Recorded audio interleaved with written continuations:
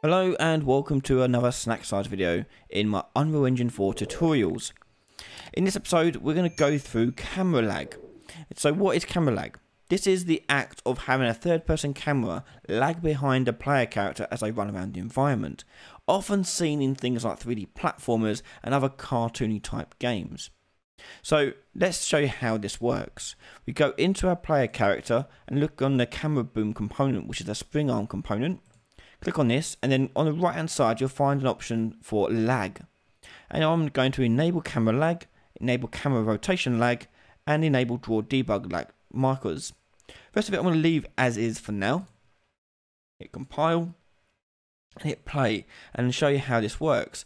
So if I move forward, you'll see two spheres separating, the green one representing the player and the yellow one representing the camera.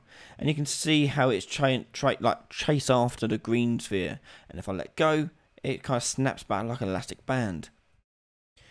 So I can increase the exaggeration of this by going over to the camera lag speed, turning this down a bit. So let's change it down to like 5 for example, hit compile, and you can see it is now more pronounced. And you can customize that however you like for the different effect in your game. And it quite nicely works for, I say, for cartoony type games, also for an, an indication of speed, as if like the camera's trying hard to keep up with the player. It works quite nice in that regard, especially if you change like field of view based on the player's distance away from the, the camera.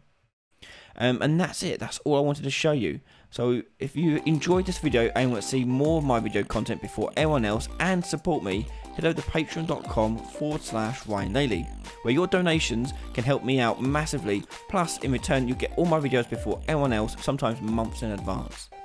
There's loads of other benefits too, so check it out on patreon.com forward slash Ryan Laley.